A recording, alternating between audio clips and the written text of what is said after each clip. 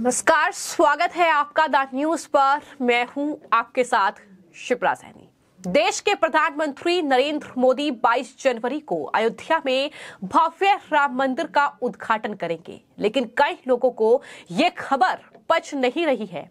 कई लोगों को इस बात से गहरी तकलीफ़ हो रही है कि अगर पीएम मोदी राम मंदिर का उद्घाटन करते हैं तो ज़ाहिर तौर पर पीएम मोदी को ही, यानी बीजेपी को ही इसका क्रेडिट मिल जाएगा।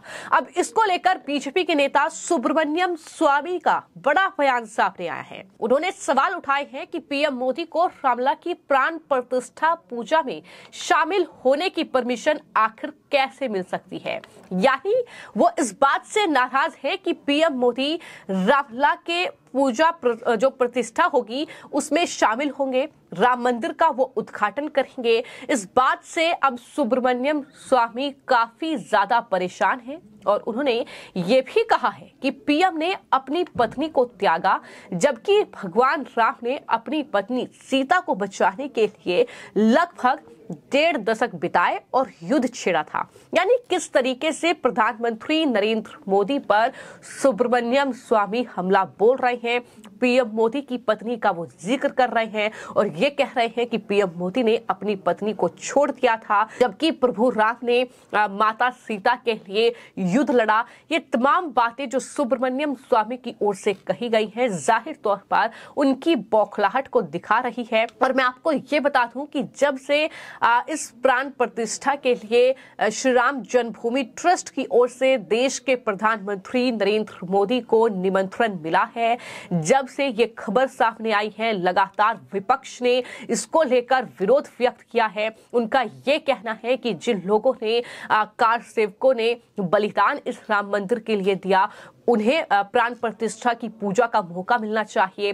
देश के प्रधानमंत्री को इस राम मंदिर का उद्घाटन नहीं करना चाहिए। तमाम विपक्ष के लीडर ने ये बात कही, लेकिन अब इसी कड़ी में सुब्रमण्यम स्वामी का नाम भी जुड़ गया है। हालाँकि मैं आपको ये बता दूँ कि सुब्रमण्यम स्वामी हाल ही में अयोध्या भी गए थे और कहीं ना कहीं वो इस बात से खासा नाराज़ है कि उन्हें राम मंदिर के जो रामला की प्राण प्रतिष्ठा होनी है, उसके लिए निमंत्रण नहीं नहीं मिला है। और यही वजह है कि इस तरीके से सुब्रमण्यम स्वामी अब अपनी बौखलाहट जो है, वो दरअसल इस तरीके से निकाल रहे हैं कि पीएम मोदी पर हमला बोल रहे हैं, क्योंकि वो राम मंदिर का उद्घाटन करने वाले हैं। और इससे पहले वो जो अयोध्या में एयरपोर्ट का निर्माण हुआ है, उसका उद्घाटन करेंगे। तो ज़ाहिर तौर पर बीजेपी या देश के प्रधानमंत्री नरेंद्र मोदी को इसका क्रेडिट क्यों मिल रहा है, ये कहीं ना कहीं एक जो कहीं कहीं ना कहीं जहन में सवाल है, वो विपक्ष के है और लगातार विपक्ष इसको लेकर हमलावर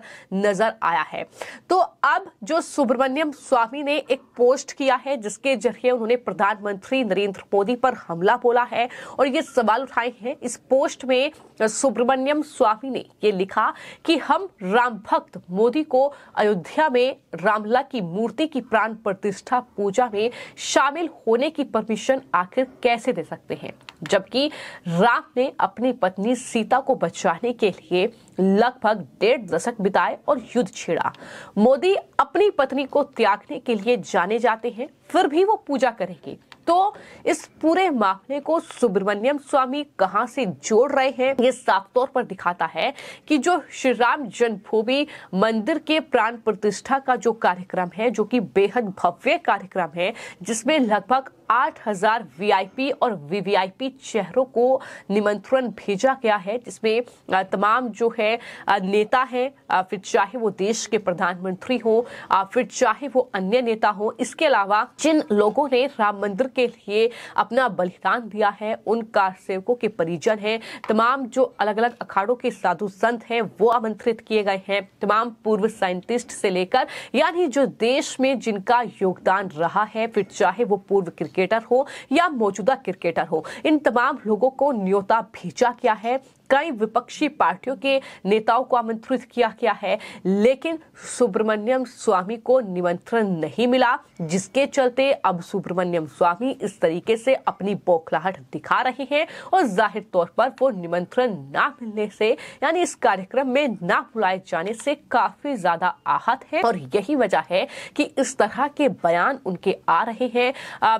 ये सुब्रमण्यम स्वामी पहले भी कह चुके हैं कि सब कुछ प्रधानमंत्री देख रहे हैं और इसी के साथ उन्होंने बीजेपी सरकार पर हाल ही में हमला बोला और ये कहा कि वो ना तो अखबार में उनका बयान छापने देते हैं और ना टेलीविज़न में दिखाने पर भी अड़चन पैदा करते हैं। मैं बीजेपी में हूँ, हमारी कोई लड़ाई नहीं, लेकिन हमारे मतभेद है, ये सुब्रमण्यम स्वामी की ओर से कहा गया। तो सुब्रमण्यम स्वामी बीजेपी के नेता हैं, लेकिन जिस तरीके से वो पीएम मोदी पर हमलावर नज़र आते हैं अलग अलग मुद्दों को लेकर वो सरकार पर सवाल उठाते हैं, और अब जब अयोध्या में भव्य राम मंदिर का निर्माण हो चुका है, जब रामला की प्राण प्रतिष्ठा होनी है 22 जनवरी 2024 वो तारीख होगी, जब राम मंदिर का उद्घाटन होगा और उसके बाद आम श्रद्धालुओं के लिए राम मंदिर खुल जाएगा। आम श्रद्धालु वहाँ पर दर्शन कर पाएँगे।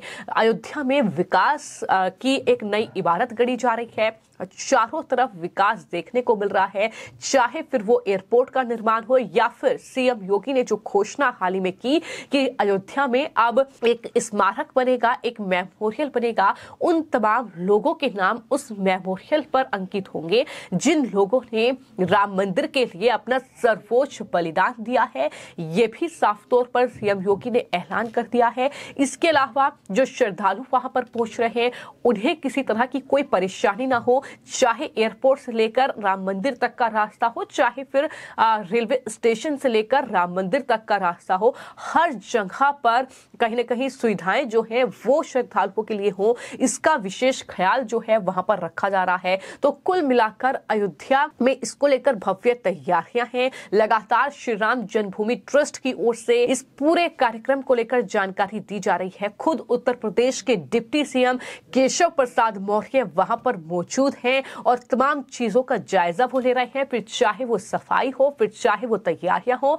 फिर चाहे वो साज सजावट अयोध्या की हो, एयरपोर्ट का चूँकि उद्घाटन होना है तो तमाम तैयारियाँ बड़े पैमाने पर अयोध्या में चल रही हैं। लेकिन इन तैयारियों के साथ साथ सियासत भी काफ़ी ज़्यादा गर्मा रही है। जहाँ कांग्रेस पार्टी के नेता सैम पित्रोदा, जिन्होंने राम मंदिर को लेकर अपनी बौखलाहट दिखाई और कहा कि राम मंदिर राष्ट्रीय मुद्दा कैसे हो सकता है तो वहीं पर वामपंथी जो दल है सीपीआईएम उनके नेता जो हैं, वो इस कार्यक्रम में शामिल नहीं होंगे। राम प्रतिष्ठा का उन्हें निमंत्रण मिला। लेकिन वो इस कार्यक्रम में नहीं जाएँगे ये उनकी तरफ़ से घोषणा कर दी गई है।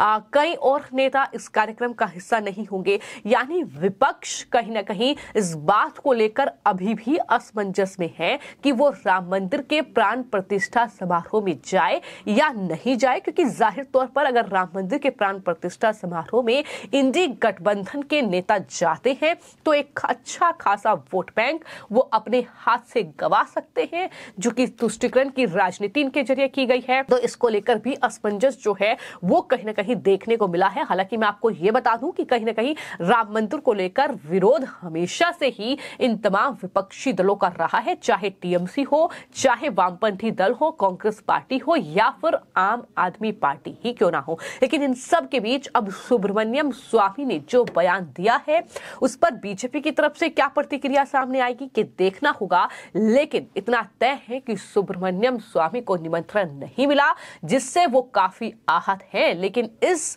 कड़ी में उन्होंने एक ऐसा बयान दे दिया है जो कहीं ना कहीं सुब्रमण्यम स्वामी की मुश्किलें बढ़ा सकता है। फ़िलहाल आपकी इस पूरे मामले को लेकर क्या राय है, हमें कॉमेंट बॉक्स में ज़रूर लिखें। धन्यवाद।